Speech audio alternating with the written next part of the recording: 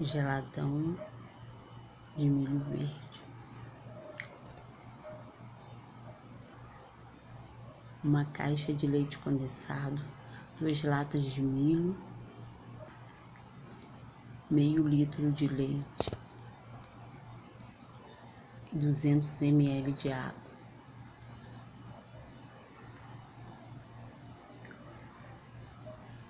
Se você quiser colocar açúcar, fica a gosto. Senão, obrigado.